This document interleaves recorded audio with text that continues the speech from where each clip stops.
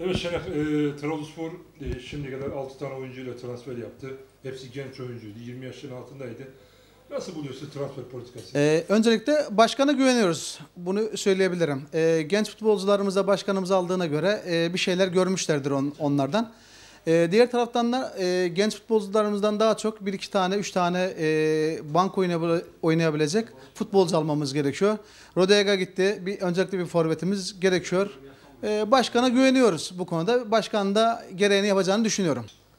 Abi şu an maddi durumumuz çok iyi olmadığı için ister istemez gençlere yöneldiğimiz için mecbur gençleri almaya çalışıyoruz ama 3-4 tane tecrübeli oyuncu almamız lazım abi. Abi bana yani şampiyonluğu oynayacağız gibi geliyor abi. Yani takımımız oturmuş. Yani 3-4 tane daha tecrübeli adam alırsak bu sene şampiyon oluruz demiyorum ama gene zorlayacağız inşallah Allah'ın izniyle. Şu ana kadar 6 tane topçu aldık. Yani önümüzdeki sezon şampiyonluk adayı olacağız ama bunun 6 tane 3 tane daha üst kademeli, daha takviyeli, sağlam, kaliteli, daha iyi topçu olursa daha iyi başarılı olacağımıza inanıyorum. Transfer politikasına gelince iyi yani. Güzel gidiyor. Yönetimin düşünceleri, fikri, hareketleri, hamleleri bizi memnun ediyor. Açıkçası şahsen beni memnun ediyor. İnşallah şampiyon olacağız önümüzdeki sene. son yıllarda yapmış olduğu e, en doğru işlerden bir tanesi. Ahmet Ağoğlu gibi başkanımız sağ olsun futbolun içinden gelen Trabzon'u ve Trabzonspor'u seven bir başkanımız sayesinde Trabzonspor inşallah e, düzlüğe çıkma yolunda bu yeni yapılan hamleleri sonuna kadar destekliyoruz. Biz Trabzonspor'un her zaman yanında yanında olu- oluruz olmaya da çalışacağız.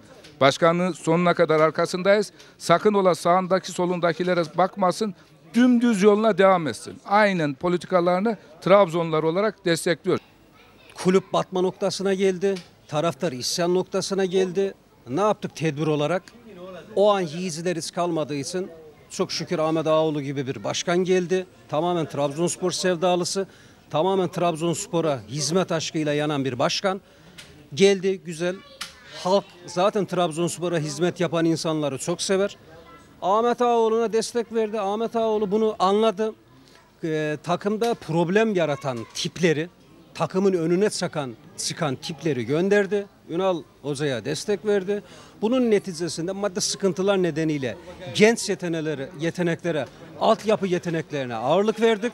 Böyle devam etsinler. Trabzonspor özüyle, öz gençleriyle bir başarı elde edecekse edecek. Yoksa dışarıdan transferlerle biz başarı elde etme şansımız yok.